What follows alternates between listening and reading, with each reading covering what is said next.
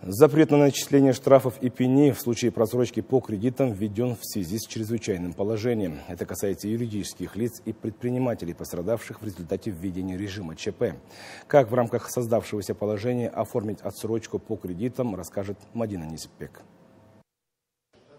Как известно, во время чрезвычайного положения в стране наложен запрет на штрафы и пени по кредитам. Об этом сообщила председатель агентства по регулированию и развитию финансового рынка Мадина Аблкасымова. По ее словам, гражданам не будут начисляться надбавки по судной задолженности до трех месяцев. Кредитные организации рассмотрят заявления заемщиков в течение 10 дней предоставления отсрочки до одного месяца а, нашим клиентам они обязательно предоставляют подтверждающие документы.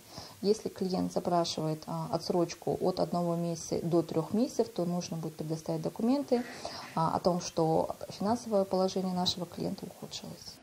Отсрочка распространяется на банковские займы и микрокредиты, выданные до 5 января текущего года. Стоит отметить, что в социальных сетях распространяется сообщение о прощении банковских долгов всех граждан. Эту информацию опровергли представители финансовых организаций. Банки работают в штатном режиме. Граждане, как обычно, приходят, оформляют кредиты на разные суммы и пользуются нашими услугами. Сейчас в связи со сложившейся ситуацией многие услуги переведены в онлайн-формат. Это удобно и безопасно.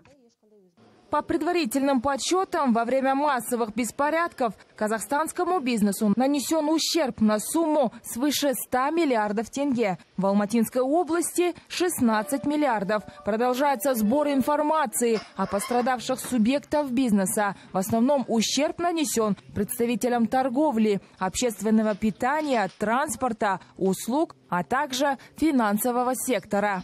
Мадина Неспек, Ержан Дюсен, телеканал Жетсу.